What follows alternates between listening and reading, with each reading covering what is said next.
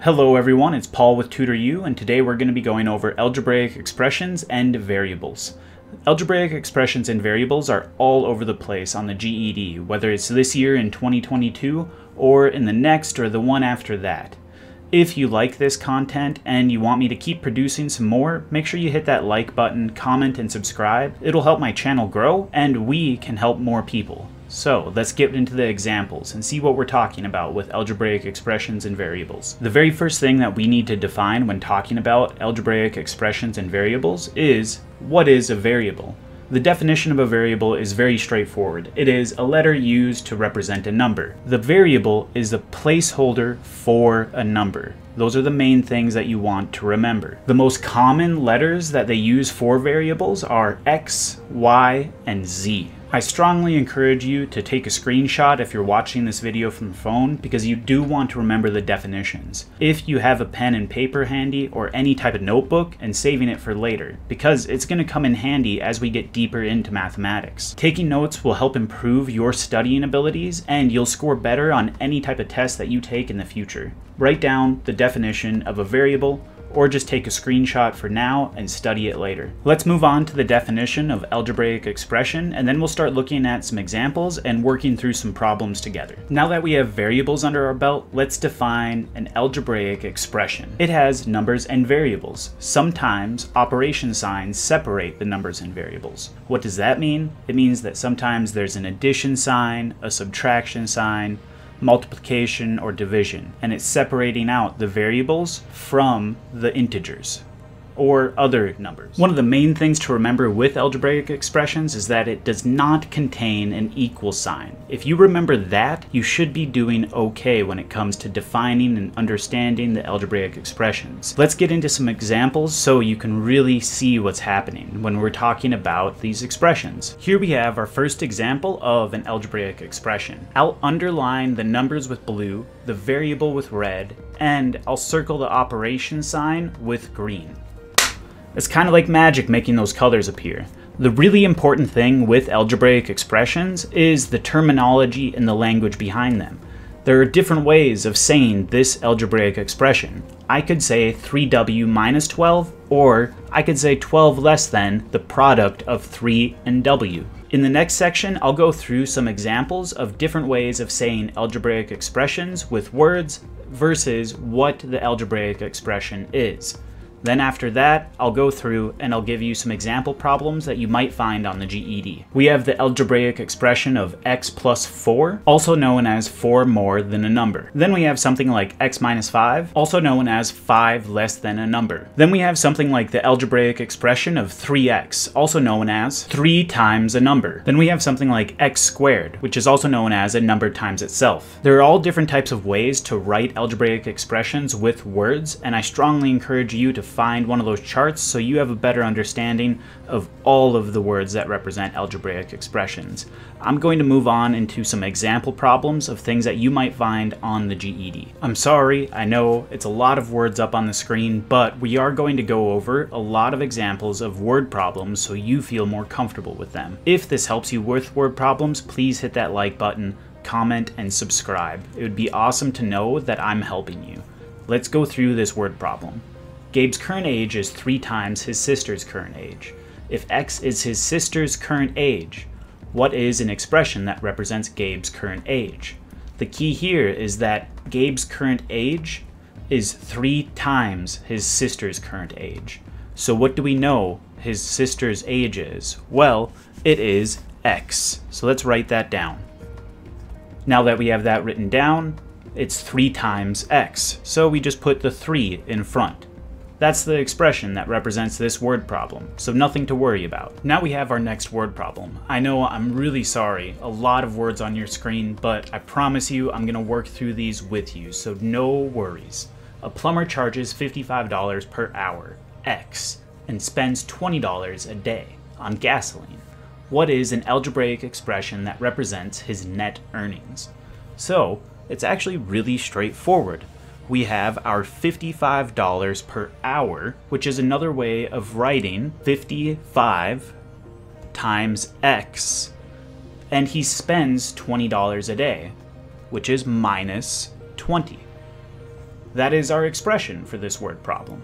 One more word problem. The width of Kevin's yard is 10 feet more than twice the width of his garage.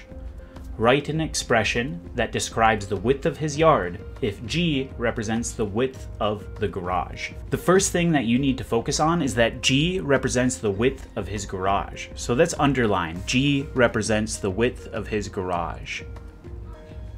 The next important bit of information is that the yard is 10 feet more than twice the width of that. So how do we write that out? Well, it's 2 times g for twice the width of his garage, so 2g, and 10 more than 2g, so it's 2g plus 10, and that is the width of the yard. The really big thing to remember with any of these word problems is that you just need to extract the data that you need, not all of the other extra words that are on the screen.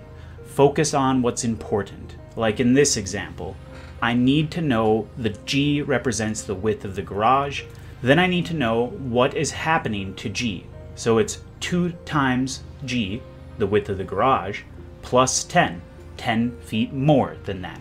This word problem right here is going to be the most difficult word problem example that we cover today. A number times itself added to the product of 5 and x and that quantity is subtracted from the difference of 6 and x. I want you to take a moment, pause this video, find a piece of paper and a pen, and write this down and try to solve it for yourself before you look at how I'm going to do it. This will be a really good practice and I want you to comment down below if you got this problem right.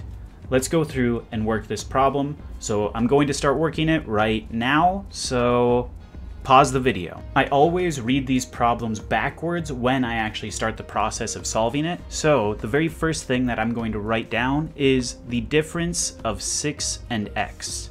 So what is the difference of 6 and x? That is another way of saying 6 minus x. We will then put this expression inside of parentheses because it's separate from the other part of this word problem. The other component to this expression is a number times itself added to the product of 5 and x.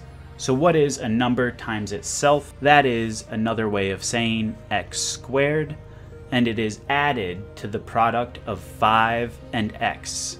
So we have x squared plus 5x as our other expression. So then I ask you, what is happening between these two expressions? It says that that quantity is subtracted from the other expression. So 6 minus x minus x squared plus 5x. Now, I regret to inform you that we're not done with this problem.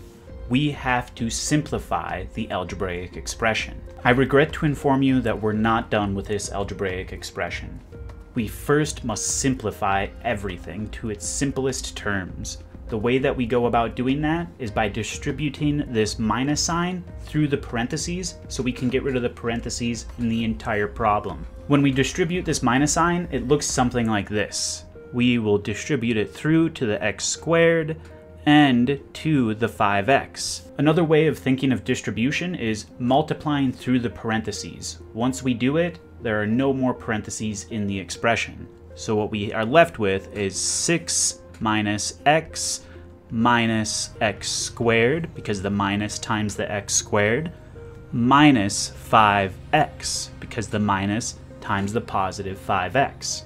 The next thing I'm going to do is rewrite this problem where x squared, or the negative x squared, is the first part of our expression.